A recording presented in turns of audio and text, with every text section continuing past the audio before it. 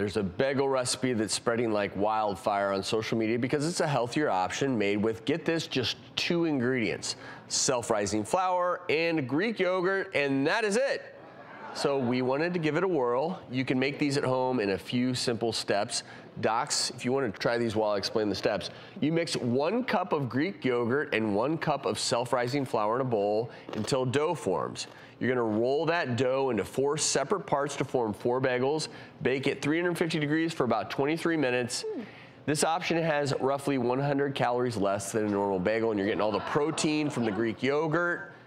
Docs, I haven't tried it yet. What do you think? Tastes like a regular I think bagel. it's a winner. Actually, it's a super winner. And apparently, so one cup of Greek yogurt is a fair bit of protein. It's actually 25 grams, which is half the amount you're supposed to eat in a day, and also about a quarter of how much calcium you need in a day. So pretty healthy to have one of these. And what's cool is you can also use whole grain versions of self-rising flour or create your own, I should say, your own self-rising whole grain version. And we're gonna have the full recipe for this two ingredient bagel, even this whole wheat gluten-free version that I described like on it. our website, thedoctorstv.com.